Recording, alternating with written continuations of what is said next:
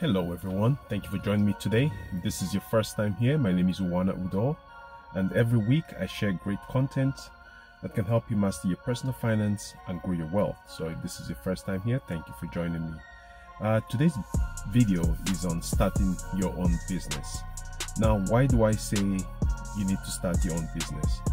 Now, if you're aware, we're just coming out of the health crisis, uh, which started last year and unfortunately because of that a lot of families are struggling right now. A lot of people have um, either lost their jobs or just getting back into work. And the economy is still is still struggling right now. Now for most people because of the health issue we had they had to stay home. And when you stay home you're not going to work you have no income. And that's a very tough place to be in. That's a very tough situation to be in so, in order to be able to avoid uh, this happening again to you in the future, you need to diversify your income. And one of the best ways to diversify your income is to start your own business. Now, it doesn't matter what type of business you start, as long as you start something. Okay, you gotta have multiple sources of income, you gotta have money coming in apart from your job.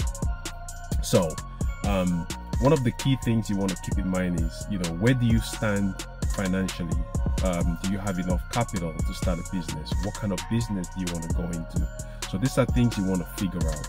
Once you figure out what type of business you want to go into, now with the internet, there's a lot of opportunities online um, to start um, an e-commerce store or to do affiliate marketing or whatever. There are lots of opportunities out online. So you can go into Google, you can go into YouTube, and you can research and find out what um, you know interest you.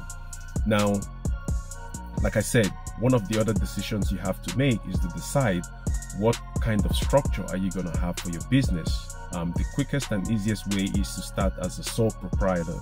Now this video is basically for the for, for my us audience but if you're outside if you're watching from outside the united states i'm sure you have similar structures where you can start as an individual, which for us is called a sole proprietor. That's the quickest and easiest way to start a business. You can also form an LLC, okay, uh, to mitigate against um, liabilities. Uh, you can also incorporate. So I am not um, a business consultant. I am not a tax professional. I am not a financial advisor.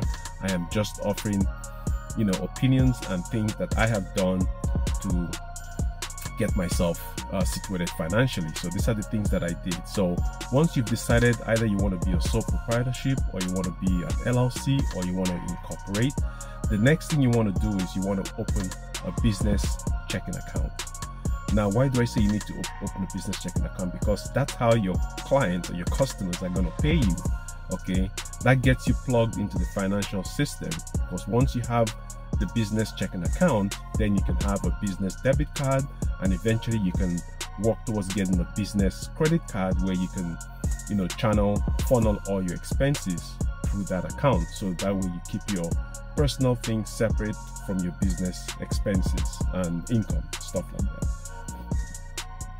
And then the next thing you want to do is for most of us, like in, if you're in the United States, you need to register the business, regardless of the fact that whether you're a sole proprietor or you are an LLC or you're incorporated, you have to register your business with your local authorities or with the state or with the Secretary of State.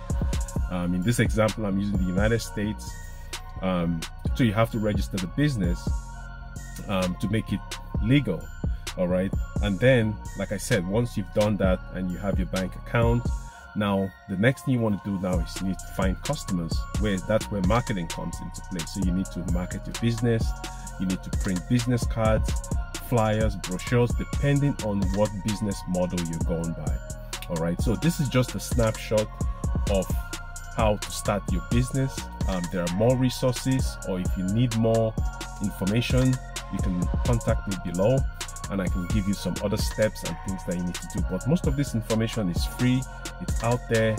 Um, you don't need to pay anyone to you know to show you how to start your business. Okay, you can Google this, you can research this, you can go to YouTube and you know find out how to start your own business okay the key is you need to start your own business you need to start something you need to have multiple sources of income just like Robert Kiyosaki said, okay, he's got the four quadrants. Okay, you can be employed, you can be self employed, you can be a business owner, or you can be an investor.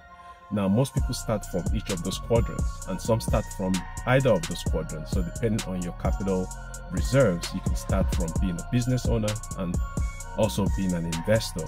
But unfortunately, most people today I see online are all focused on investing when you don't have enough money to invest. So the quickest way for you right now is to start your own business, build slowly.